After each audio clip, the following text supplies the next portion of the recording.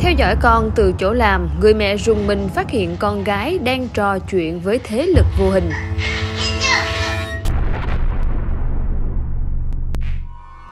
Vừa qua, một tài khoản TikTok có tên là Rosie đã chia sẻ lại đoạn camera an ninh vô cùng ma quái được ghi lại trong chính ngôi nhà của mình. Theo Rosie kể lại, hôm đó vì bận việc đột xuất phải lên công ty nên cô đành để con gái ở nhà một mình trong vòng 2 tiếng.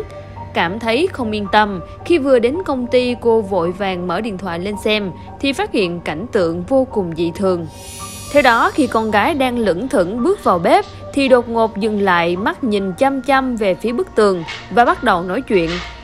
Bất thình lình, hộp bánh trong tay cô bé bị kéo về phía trước. Sau khi giật lại, cô bé đã tỏ ra rất khó chịu và không ngừng càm ràm, mắt vẫn hướng về phía bức tường.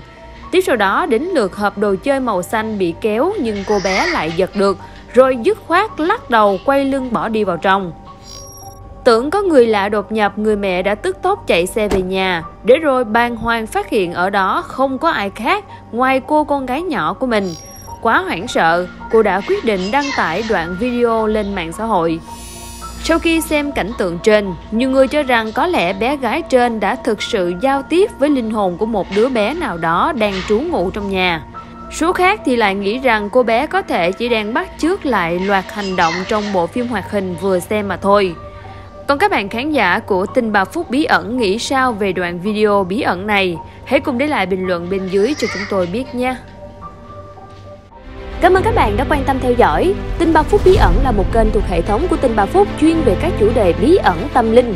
Đừng quên đăng ký kênh để theo dõi thêm các clip ly kỳ hấp dẫn mỗi ngày.